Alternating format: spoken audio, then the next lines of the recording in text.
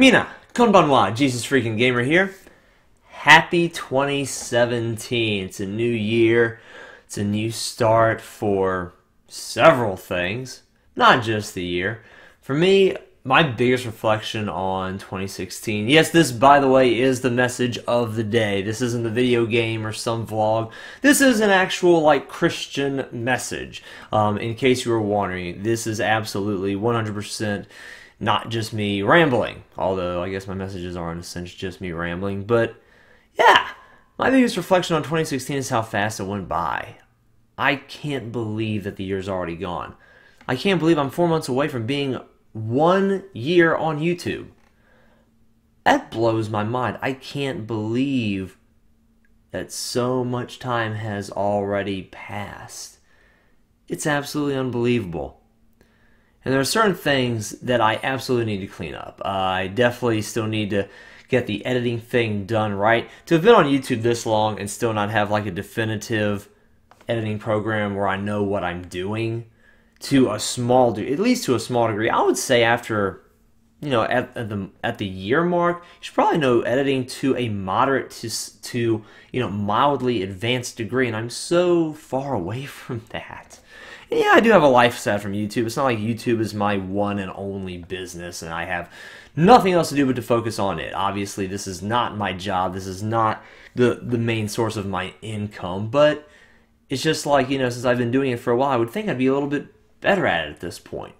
And I'm I think I've improved a little bit as far as like the the uh like well have I improved anything?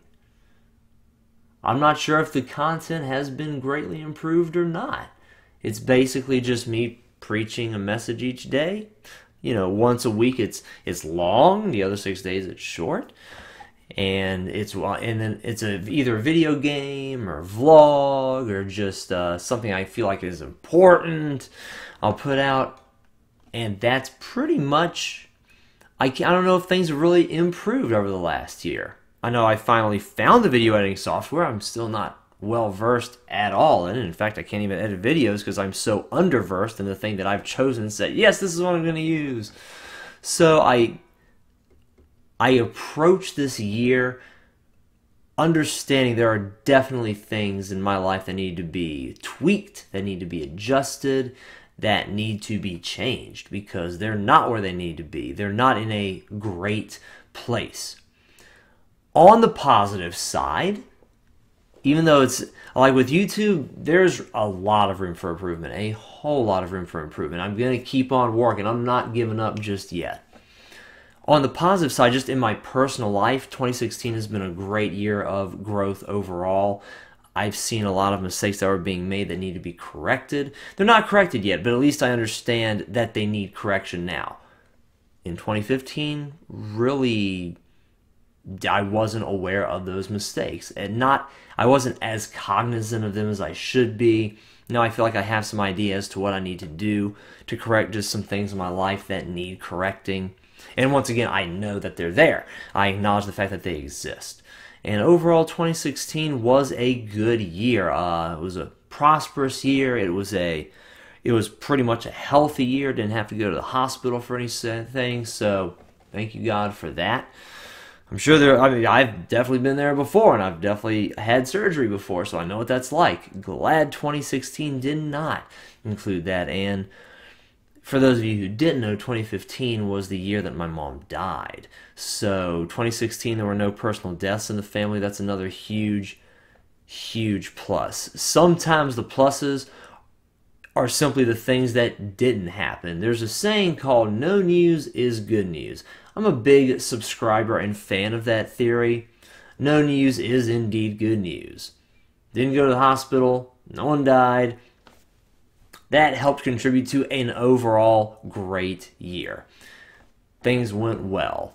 Enjoyed it, had fun, spent time with people, learned a lot, grew as a human being. Can't complain. About 2015, yeah, there's a major complaint there. 2016, not so much. No real major complaints. Just a good overall year in my life and very thankful for it. Moving forward into 2017, I want to keep growing. I want to keep moving. I have I have plans stirring around in this noggin of mine and things that I want to do in YouTube and in just my personal life, which if the time and I believe it of I think it, you know, makes for good content, then I'll put it on here. And what I was reflecting on for 2017, it was mainly along the lines of, you know, okay, 2016 was good how can 2017 be better? Whereas in 20, at the beginning of 2016, I was like, okay, I've mostly recovered from the death of my mom. You know, how can I look forward in life just in general? Because so many things were rearranged at the time of my mom's death.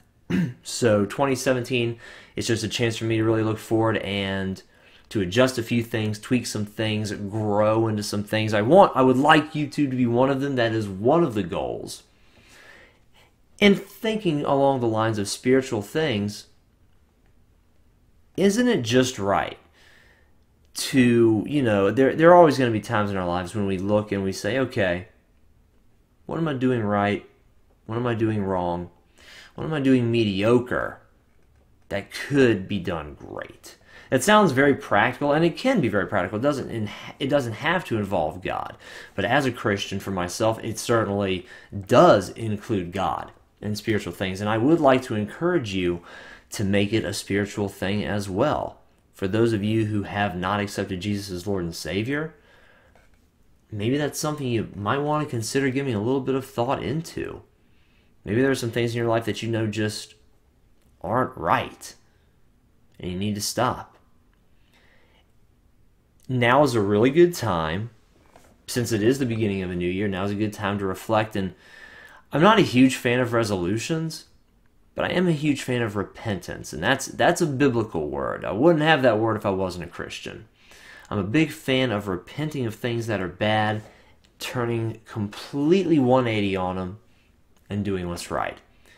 And while New Year's is a great chance to reflect on that, it doesn't have to be New Year's. It, it, because it's New Year's, we kind of think along those terms. And so, you know, let's do that. At the same time, we're not limited to New Year's. If we if we see something that's wrong or that's awry, we don't have to wait until the next year or the next month. Not even the next day to change that. Let's change it now. If we've recognized it and we see this as a problem, let's change it now. Why wait? If there's something that we could add to our lives that would be better for us, better for our families, better for our business and our communities, why wait until the new year? Let's add it now. Because because it's the new year, I'm thinking about these things and what has transpired. A lot of people get you know, um, nostalgic, and a lot of people start thinking about you know what could be tweaked in my life, and I've been thinking along those lines as well. And what I've got to consider is the fact that you know let's let's not just limit this change and this repentance. And for anyone out there who's not a Christian, once again, maybe think about becoming one uh, strongly consider becoming one. Now that it's the new year and we're thinking about these things, absolutely, let's think on these things. But let's not limit the change to just the new year. If something needs to be changed, let's do it now. The idea of repentance, uh, 1 John 1 9. He is faithful and just to forgive us of our sins and to cleanse us from all unrighteousness. That doesn't just have to be the new year. That can be any time if there's a sin let, let's do let's let's repent let's not like eh we'll just we'll linger in this another you know another few months another few weeks or at least a few days no he is faithful. If we confess our sin he is faithful and just to forgive us our sin and to cleanse us from all unrighteousness. Let's not wait for the new year to do that. Let's do it now.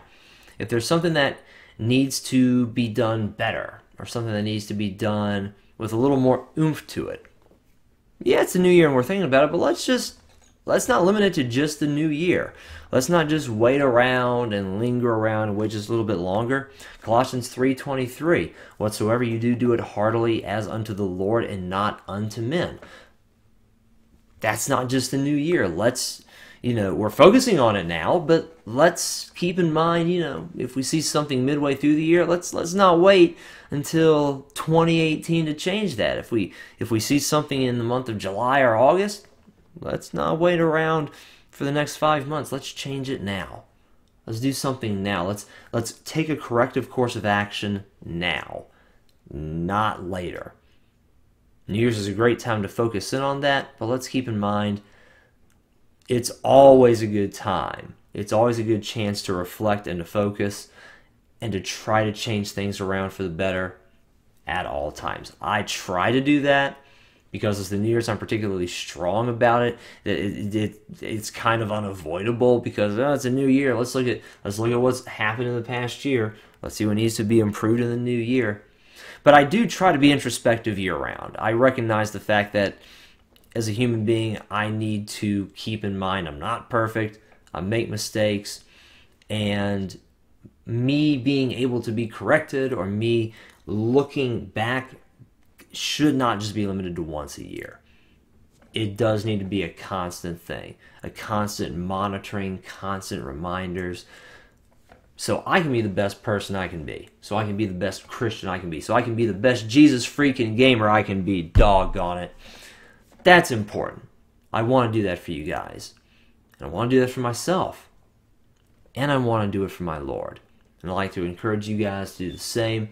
Hopefully, it is another great year for me. Hopefully, it's another good year for you guys. And if there were some things in 2016 that were lacking, that were bad, let's move forward in 2017. Let's work hard to make sure that this year is an even better year, an even greater year. Guys, thank you very much for watching this video. I love you, and God bless.